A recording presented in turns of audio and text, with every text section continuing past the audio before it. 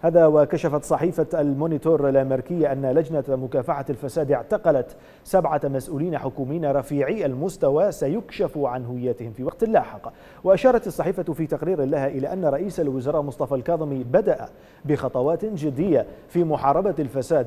جعل قوى متنفذة تستميت للحيلولة دون المساس برموزها المتهمة. وأضافت الصحيفة أن خطوات الكاظمي في محاربة الفساد لاقت ارتياحا شعبيا واسعا لافتة إلى أن القوى السياسية المتضررة من الحملة التي يقودها الكاظمي قد تحشد للإطاحة بحكومته بعد المساس بمصالحها في مفاصل الدولة وفقا للصحيفة.